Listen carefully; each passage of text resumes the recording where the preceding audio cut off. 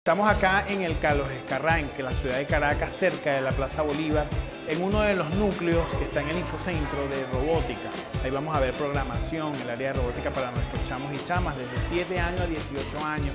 ¿En qué? En la capacitación de la vida, la vida digital. Entramos en este reto de la vida digital, entramos en este reto de la digitalización en infocentros para que nuestros niñas y niños bueno, puedan aprender esta área tan eh, interesante para ellos.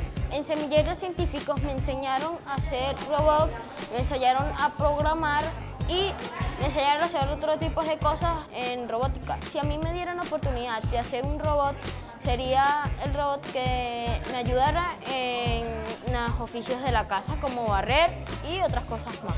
Invito a todas las niñas de Venezuela para que se metan en semilleros científicos, para que aprendan a diseñar robots y a programarlos. Si yo pudiera ser un robot, el que yo haría fuera uno que me ayudara en la cocina. ¿Y qué robot harías tú?